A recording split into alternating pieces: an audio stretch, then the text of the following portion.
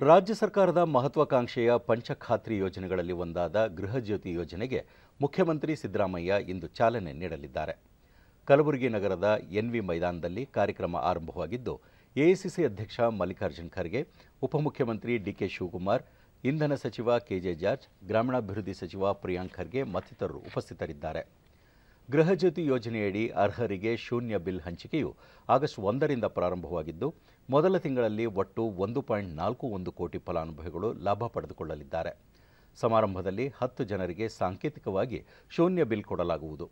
ಈ ಯೋಜನೆ ಆಯಾ ಜಿಲ್ಲೆಗಳಲ್ಲಿ ಉಸ್ತುವಾರಿ ಸಚಿವರು ಲೋಕಾರ್ಪಣೆ ಮಾಡಲಿದ್ದಾರೆ.